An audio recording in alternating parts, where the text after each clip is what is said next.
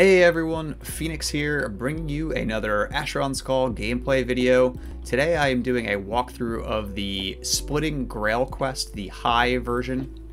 Uh, so you're going to want to get to Dark Isle. I, I'm lifestoned here, so you know I just uh, recall to the lifestone. But if you're not, you can go uh, through Vissidal. Um, you know, that's really the only other way to get here that I know of anyway. Um, so you're going to want to run to the Abyssal Totem Gateway at these coordinates 86.5 north, 57.3 east. It's basically just straight northwest from the Dark Isle Lifestone. And you're looking for the Mukkir Progenitor. So this guy right here, uh, hopefully didn't drag too many Dark Isle guys with me. Try to run to get to a clean spot if I can. I got some shadows that chased me, but that's okay. I, shadows pretty easy to kill if I need to. Um, so you're going to want to kill this Mukkir progenitor. I should have switched to my uh, Mukkir Slayer. Let's try it now.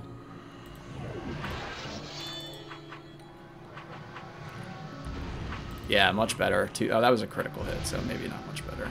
Okay, so once you kill the Mukkir progenitor, you're going to need to loot a progenitor's ichor. If you have already done the quest, you don't actually need to do this again, so it's not going to let me pick it up again. But I will show you where to turn it in anyway. So once you pick up the Ichor, you're going to go to Ayan Baqur. So again, I'm I uh, am lifestone tied there, so it's very easy for me to get there. But if you're not, you can ask, um, you know, on the server for a, uh, you know, a portal to Ayan. You can tie to the Panopticon portal, and someone could summon that for you. But we're going to run into town and speak with Hoshar ibn Jalak, who, uh, or hand the Ichor to him, who will flag us for the quest. I guess I'll talk to him and see what happens. Yeah, so he'll tell you if you're strong enough, you can go to those coordinates and bring him the Ichor of the Progenitor. You'll hand him the Ichor, and then he'll flag you to go into the Abyssal Totem Gateway. So I'm going to go back to Dark Isle. We're going to run back actually exactly to where we just were, which is convenient to the Abyssal Totem Gateway. Now, once you're flagged, that's going to act as a portal device. And the great thing, like I was saying, it wouldn't even let me pick up that item, is because once you do it once, you're permanently flagged to go into this dungeon. So it's really nice. Very quick quest once you're already flagged, and the flagging's not even that difficult unless you can't get to Ayan Baqur easily for whatever reason. All right, so we're gonna run back to that Abyssal Totem Gateway. All you have to do now is just use it. Uh, it kind of looks like an NPC on the map. So yeah, okay, so it shows up, shows up yellow like an NPC. Just this cool green uh, chalice. And it says, seems to sense your presence and recognize you. It teleports you into the Temple of the Abyssal Totem. Uh, yeah, so this dungeon is full of Mukkir. We're just going to run through past most of them until we get to the end. It's pretty linear except for one portion in which when you get to that where you have an option, you're just going to want to go left. And other than that, it's pretty straightforward how to get through. So this is where you would have a choice. You could go straight or you could go right, but we're going to go left up the ramp and continue on to the north.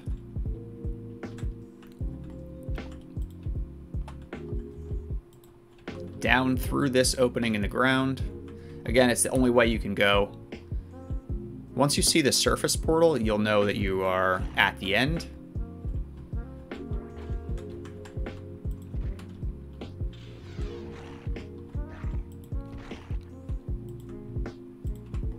So there's the surface portal off to the right. You can see it on the map. And now you're going to see the Abyssal Totem, which is what we're here to destroy. First, we're going to hopefully not die to all these Mukkir.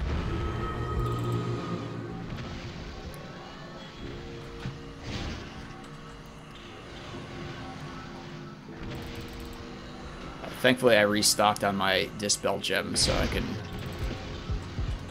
hit that. Really don't want to die in here.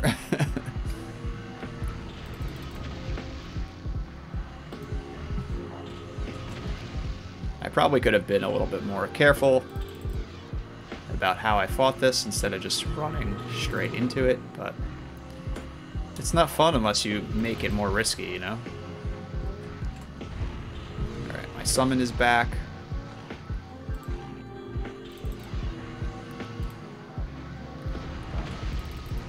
I'm not actually sure if this Mukkir Slayer is better than my Corrupted Rare.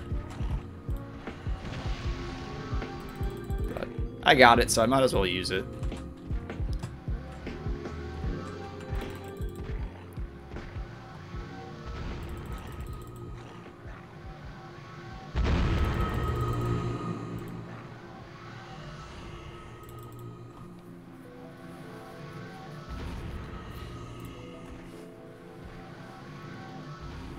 Alright, so now we're going to need to destroy the Abyssal Totem, which I guess that's what my summon was doing instead of helping me. Um, so I can cast my Void DOTs on this, but you can't try to uh, Imperil or Vulnit. It uh, is you fail to affect Abyssal Totem with it. I do know other people who use like a Royal Runed or a Princely Runed weapon to proc the cast on strike of those weapons, which basically casts Imperil. Uh, so you could do that. And the other weird thing about this is that if I cast an arc on it, they miss for some reason. So you need to use, if you're a mage, bolts. I only do 140 damage to this for some reason, uh, which is barely anything. But thankfully, having summons uh, kind of not easily get through it, but, you know, are actually able to get through it.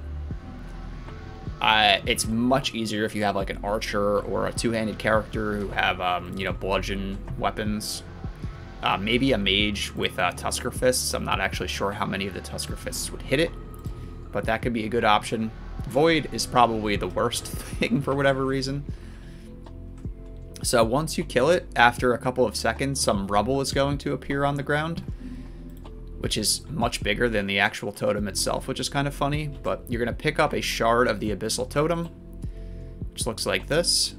And now we're going to go back to Hoshar in Baqur for our rewards. So I'm going to put on my experience trinket so that I get the full rewards from this. You also get a pretty cool helm that has 24,000 mana, so it's really good for recharging your mana stones, or it's actually a pretty cool looking helm. It's got like a mohawk on it. So yeah, 12,000 luminance, Helm of the Abyssal Totem, and 250 million experience for, you know, not too much effort. Let me show you what the helm looks like. Put on my, uh, show off my cool bandana. So yeah, pretty pretty cool helm. Um, but yeah, like I said, I just use it to recharge my mana stones. So yeah, I hope you enjoyed this video. If you did, please press that like button. Please subscribe to the channel, and thanks for watching. Bye.